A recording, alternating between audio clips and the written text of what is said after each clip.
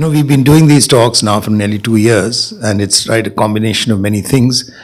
Some of you have been here earlier, so you know about it, but others who have not been, I'd just say a few words that this is a um, a kind of um, discussion forum, really, where we feel that uh, architects who have so much to do with society and who seem to be getting further and further away from uh, social concerns, uh, that this is an attempt to try and start a, a conversation between architects and uh, civil society in a, you know, in a very um, open manner, not disciplined at all.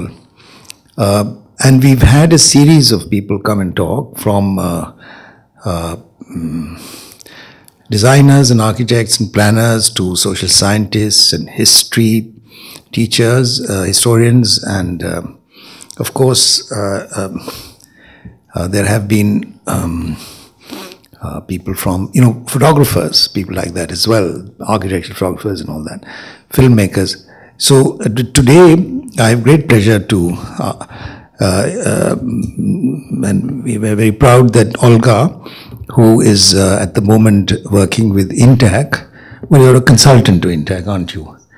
And um, she has a very distinguished biodata, which I can't possibly begin to put before you, all enough to say that it's very distinguished.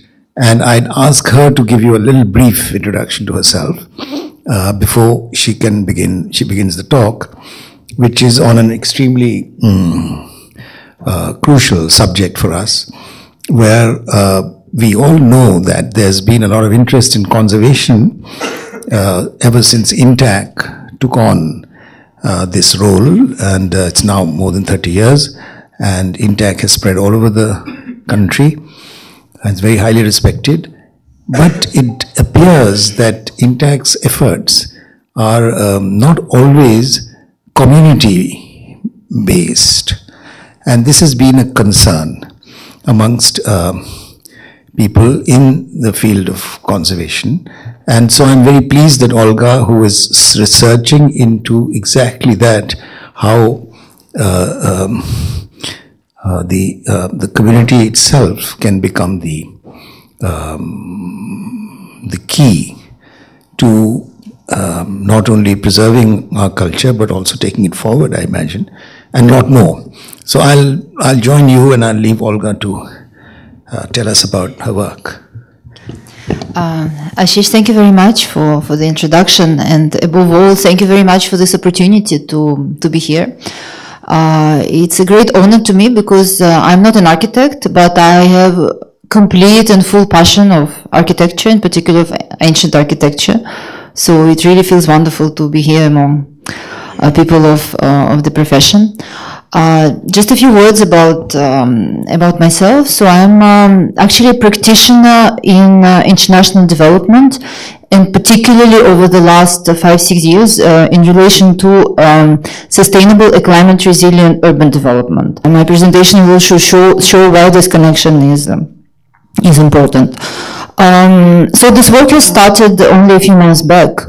Uh, we have what we call a scoping program called um, Indian Built Heritage, Socioeconomic Asset of Sustainable Urban Development. Um, so it's pretty much an initial research in which we've done a few uh, case assessments. Um, so uh, the format of this um, of this talk, I would very much like it to be interactive. Uh, there is a presentation that I have prepared to just show you um, a few points of thought that I came up with in such a short time span. But definitely I would very much like to hear from you. And in fact, I have even prepared questions for you. So it's not going to be only me replying to your questions, but I hope I can hear replies to, to my questions as well. So um, this, this is as much for the, um, uh, for the introduction. And uh, uh, we can now move to, um, uh, to the topic. Uh, so to, um, to start with, uh, with the discussion, I would like to just give a picture of the uh, status of built heritage in India. So, um, according to INTACH's estimates, in fact, there is a publication now that is going to be released soon, um, uh, in the preparation of which Intag has assessed that less than 1% of uh, built heritage in India is actually protected in any way. And as you can see on the graph, um, this protection is shared pretty much 50-50 between the Archaeological Survey of India, ASI, and uh, protection at the state level, at the regional level.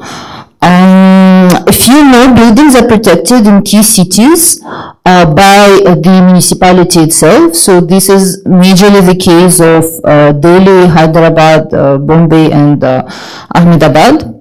Apart from that, uh, the, the remaining uh, heritage, which has been estimated to about 11 lakhs, can be demolished at any point in time. There is absolutely no, no problem with that.